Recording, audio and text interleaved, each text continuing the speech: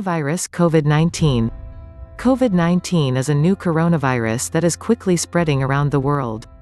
The main symptoms and signs of COVID-19 infection are cough, fever, and shortness of breath. Treatment focuses on symptom relief. COVID-19 symptoms may begin like the flu but go on to develop fever, cough, and shortness of breath that is severe enough to warrant hospitalization in many patients. Unfortunately, to date, there is no antiviral drug or vaccine to treat this infection. Symptom relief and supportive care, many requiring hospital care, are the current treatment methods.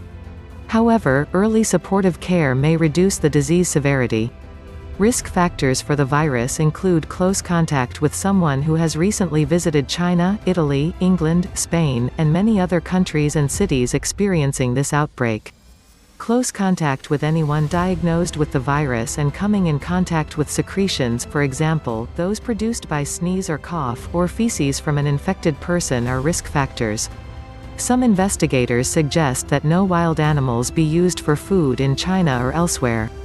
Medical researchers estimate that the incubation period for a COVID-19 infection varies from 2 days to about 14 days. COVID-19 symptoms may begin like the flu but go on to develop fever, cough, and shortness of breath that is severe enough to warrant hospitalization in many patients.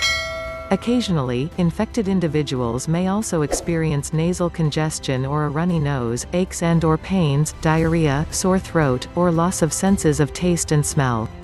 Although early in this outbreak, Chinese researchers' suggestion that people who are infected but don't show symptoms incubation period may be contagious actually proved to be correct. This allows the virus to spread more effectively from person to person and makes it more difficult to isolate infected patients. Many coronavirus types infect species of animals that occasionally, or rarely, are able to infect humans. MERS coronavirus is an example where the virus that usually only infected camels became able to infect humans. SARS-CoV-2 is similar as the initially infected people frequented an open-air food market that sold fish and animals, including wild animals. Medical researchers currently do not know the animal species infected, but wild animals are a suspected source. However, the rapid spread of the virus was due to person-to-person -person contact that has been responsible for the wide outbreak of this infection. Close contact with someone who is infected or with their secretions for example, cough-generated droplets or feces is how the virus spreads. Although this virus is contagious, the contagious period of time remains to be determined. Recent findings showed that it is contagious even in the incubation period when the patient shows no symptoms. Complications associated with this viral infection include Difficulty breathing may require a breathing machine, high fever, pneumonia, severe cough, organ failure for example, kidney failure, and death. 9 ninths. How can people prevent a COVID-19 SARS-CoV-2 infection? The following are the preventive measures to stop the spreading of coronavirus. Wash your hands often with soap and water for at least 20 seconds. If soap and water are not available, use an alcohol-based hand sanitizer. Avoid touching your eyes, nose, and mouth with unwashed hands. Avoid close contact with people who are sick.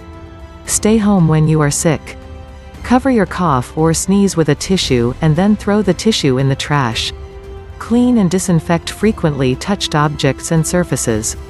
In addition, because of the need of hospitalization for many infected people, many governments have taken steps to limit the chances to spread infections by isolation techniques such as closing down public events and even preventing public transportation, and closing schools and workplaces.